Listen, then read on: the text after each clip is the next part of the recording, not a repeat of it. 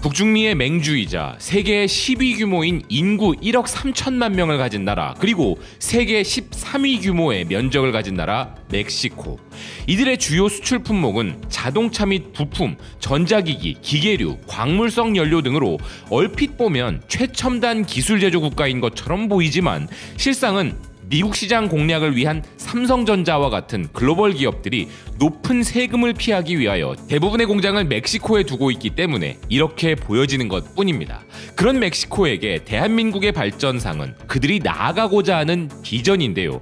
그렇기에 대한민국의 다양한 부분이 그들에게는 매우 중요한 교훈이 될 수밖에 없는데 멕시코는 그들이 왜 과학 분야에 대한 투자를 확대하고 과학기술과 훈련 등의 공적 자금을 투입해야 하는지에 대해서도 그 예시를 역시나 대한민국으로 잡고 있는 상황입니다.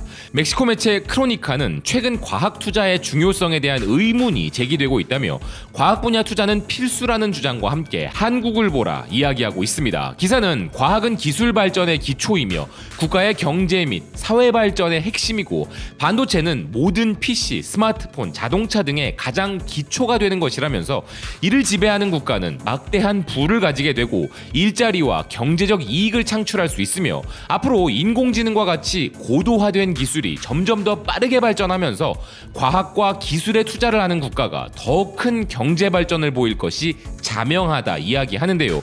그 분야의 선두 국가들은 더 큰 혜택을 볼 것인데 그 대표적 사례가 바로 한국이라는 것입니다. 한국은 1986년도까지 멕시코보다 1인당 소득이 더 낮은 국가였지만 이제는 한국의 1인당 소득은 멕시코의 두배 이상이 되어버렸고 빈곤국에서 선진국으로 올라온 국가가 바로 한국이라면서 한국은 과학기술에 대한 투자가 얼마나 중요한지를 보여주는 국가라 소개하는데요. 어디 멕시코뿐이겠습니까? 이미 대한민국은 주요 개발도상국들의 롤모델이 된 지 오래죠.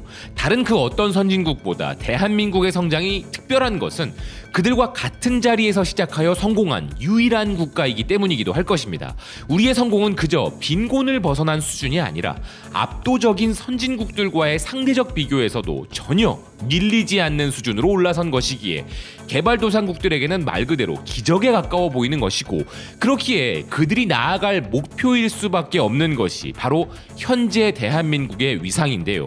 세계은행이 발표한 2020년 세계 GDP 순위에서 대한민국은 당당히 10위권에 진입한 것은 물론이고 유엔 산업개발기구가 발표한 2021 산업 경쟁력 지수에서도 독일, 중국, 미국, 일본과 함께 top 5 자리를 확보할 정도로 우리가 GDP와 산업 경쟁력 분야에서만큼은 강대국의 지위를 공고히 하고 있습니다. 아울러 주목할 만한 순위 그리고 이색적인 순위까지 살펴보자면 대한민국의 위치를 좀 더 가늠해 보는데 도움이 될 것 같은데요. 먼저 어쩌면 과학기술의 척도라 할 수도 있는 첨단 의료 분야부터 보겠습니다. 주목할 순위는 바로 전 세계에서 가장 스마트한 병원 순위인데요. 의료 전문 매체 Healthcare Global은 전 세계에서 가장 혁신적인 스마트 병원 순위를 발표하였습니다. 10위로는 호주 골든코스트 대학병원, 9위로는 미국의 템파 종합병원, 8위로는 핀란드의 오울루 대학병원, 7위로는 캐나다의 어린이 병원이 선정되었으며 6위를 영국 런던의 Great Ormond 병원이 5위 또한 런던의 King's College 병원이 차지하였고 4위는 싱가포르의 KK 여성 어린이 병원 3위는 미국 시카고 의과대학 병원이었습니다. 그리고 1위 병원으로는 미국의 가장 큰 암 전문 병원인 MD Anderson 암센터가 선정되었는데 약간 아쉽지만 대망의 2위로 선정된 병원이 바로 대한민국의 삼성의료원이었습니다. 기사는 한국에 본사를 두고 있고 주변 지역에 3차 서비스를 제공하고 있는 삼성의료원은 전국 고객 만족도 지수에서 14번이나 1위를 차지하는 믿을 수 없는 수준의 병원이라며 1979개의 병상과 1,400명의 의사가 있다고 소개하였습니다. 또한 최근 들어 팬데믹으로 인해 특히나 주목받고 있는 순위가 하나 있는데요. 그것은 바로 DQL Digital Quality of Life라 불리는 일상의 디지털화 순위입니다. The Times of Israel은 이스라엘이 DQL 랭킹에서 4위를 기록했다 보도하고 있는데요. Surfshark가 집계한 설문조사에서 이스라엘이 미국, 스위스, 영국을 넘어섰다면서 1위를 기록한 덴마크에 이어 한국은 2위에 올랐다 보도하고 있습니다. 관련 순위는 실제 Surfshark의 웹에서도 이렇게 확인되고 있는데요. 흥미로운 점은 이 digital life의 품질 순위의 기준입니다.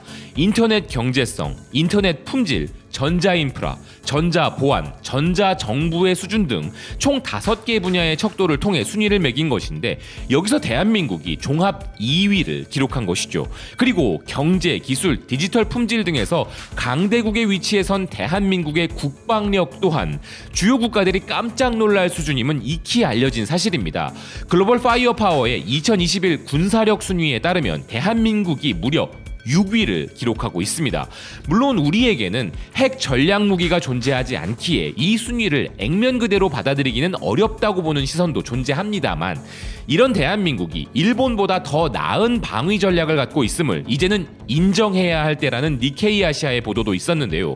기사는 스가 총리가 자유롭고 열린 인도 태평양 전략을 이행할 능력이 없다면서 많은 일본인들이 한국은 중국에 대해 약한 모습을 보이고 북한을 방종하는데 이는 전 략이 부족하기 때문이라며 한국의 외교 정책을 비판하고 조소하지만 일본은 이제 한국을 신경 쓰기 전에 자국의 안보를 걱정해야 한다면서 적어도 국방 예산 전략에 관해서는 한국의 전략이 일본보다 더 합리적이라 평가했습니다.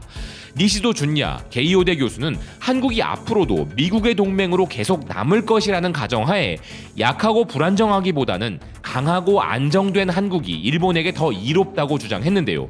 한편 한국이 군사력에서 일본을 추월할 경우 한국은 외교와 역사관 충돌에서 일본에게 우위를 점하게 될 것으로 보인다는 부분도 이야기했습니다. G7 정상회의에서 우리나라가 아시아 유일이라는 일본의 자리를 빼앗을까봐 노심초사하는 그들은 그것이 그냥 하는 소 리가 아니라 정말로 두려워하고 있다는 것이 핵심인데요. 분야에 따라 이미 추월했거나 맹추격 중이기에 이대로라면 대부분의 분야에서 우리가 곧 일본을 추월할 것이기 때문이죠. 자 그런데 대한민국에게 현재 국가 위치에 맞는 행동을 요구하는 목소리들도 나오고 있는데요. 일명 middle power 즉 중견국이라는 이름으로 현재 대한민국은 불리고 있습니다. 혹자는 선진국이라 부르기도 하고 중견 강대국이라는 표현도 존재하죠. American University의 교수이자 프린스턴 국제안보센터의 연구원인 동아시아 정치안보 전문가 나오코 아오키 박사는 더 내셔널 인터레스트의 칼럼을 통해 한국은 중견급 경제 군사 외교 능력을 보유한 중견 강대국이며 한국 경제는 러시아를 제치고 세계 10위이고 국방 예산은 이탈리아나 호주보다도 10배나 많고 국제 개발 원조 측면에서도 한국은 2020년 경제 협력 개발 기구 기준 29개 주요 기부국 중 16위를 차지하는 공헌도 하고 있다 설명하고 있습니다. 또한 지정학적 환경에서의 한국의 행동 또한 한국이 중견 강대국이라는 견해를 뒷받침한다면서 한국은 지정학 적 환경의 변화에 대응해 다자간 틀을 구축하고 강대국들 사이에서 균형을 잡으며 국제개발 원조를 제공하는 것을 통해 세계적인 공공재를 창출하는 데 기여한 국가라는 필자는 미중 갈등으로 인해 한국이 앞으로 더 큰 영향을 미칠 가능성도 존재한다는 것인데요. 먼저는 최첨단 제품들의 공급망 복원 부분에서 한국의 역할이지만 자유민주주의의 가치 보호 분야에 있어 중국 신장이나 홍콩 등의 문제에 대해 중국을 규탄하는 것을 주저해온 부분이 또 다른 중간 세 력인 호주와 대조되고 있는데 이 부분에서도 한국의 선택은 큰 영향을 끼칠 수 있다는 것이며 이 지역에서 가장 강력한 자유민주주의 국가 중 하나인 한국이 중국에 맞서지 못하고 민주주의 원칙을 지지하지 못한다면 다른 국가들이 어떻게 할 수 있겠느냐며 필자는 한국에게 국가의 위치에 맞는 역할을 촉구했습니다. 필자의 중국 규탄에 대해서는 개인적으로는 당연히 동의합니다만 국가의 외교적 차원에서는 전혀 다른 이야기라는 것쯤은 누구나 아는 사실인데요. 허나 필자가 말하는 국가적 위치에 걸맞은 행동, 그 행동을 최근에 대한민국이 아주 제대로 보여준 것이 하나 있었죠. 그것은 바로 아프간 사태에 대한 대응이었는데요.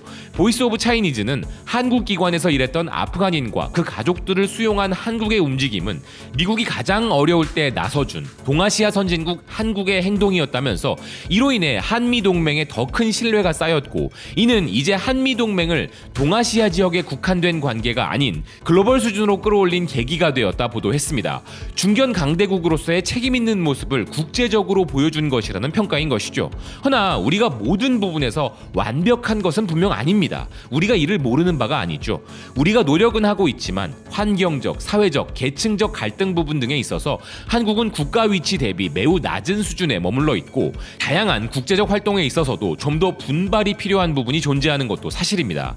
허나 이는 말도 안 되는 수준의 엄청난 국가 발전 속도로 인한 부작용일 뿐이고 현재 시점에서의 대한민국에 대한 평가일 뿐이기에 앞으로는 세계적 이슈에서 이제 절대 제외되지 않는 현재의 국가 위상에 맞는 다양한 노력을 해나갈 것인데요. 대한민국은 앞으로 팬데믹을 비롯한 다양한 국제 이슈에 있어 앞으로 훨씬 더 큰 역할을 하게 되고 높은 평가를 받는 국가가 될 것을 확신합니다. 시청해주셔서 고맙습니다. 또 뵙겠습니다.